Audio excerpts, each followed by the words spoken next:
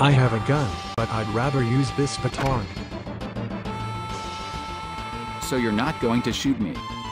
Great. Oh, I'm dead. Enough of this. I have a gun, but I'd rather use this baton.